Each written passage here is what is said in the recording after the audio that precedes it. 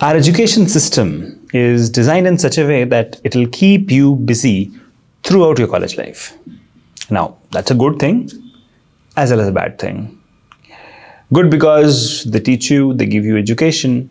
Bad because it gives you same set of skill set which everyone else has. And then one day, these these lectures, these practicals, these internal, external exams, these viva, everything will just vanish.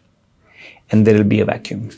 Your college will end and there will be a vacuum. You will be left with the same set of skills, the same things which everyone else has studied. And that is where you will struggle. I know a lot of students who struggle because they were kept busy by the college or university.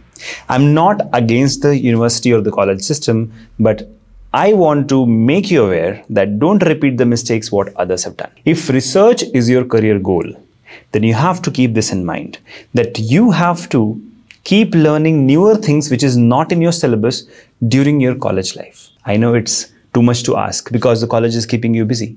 That is where you have to learn how to keep the college work aside or maybe minimize the time spent there and maximize on learning newer things. See, when I was in college, there was no internet, there was no skill enhancing programs, so I could not do anything. But I struggled. And today, now that we have a lot of skill enhancement programs, which Biotecnika or various other organizations are conducting, my point of view here for all of you is if you want to create a research career, then you should keep upskilling and learning newer things while you're still in college.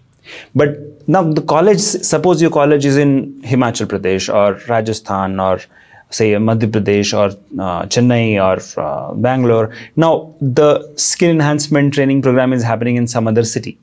So one thing you can do is apply for a leave and go there and do it or look for online alternatives which you can always do. You can always learn online while you're still in college.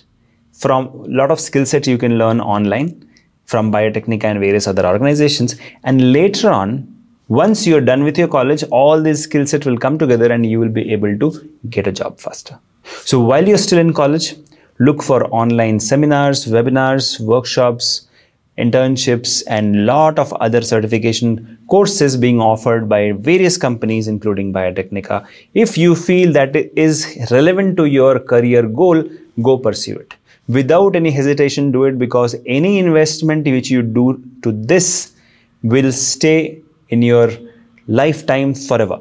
It will not be impacted by any inflation or anything. So my mantra to you is while your college is keeping you busy, don't get busy instead be productive.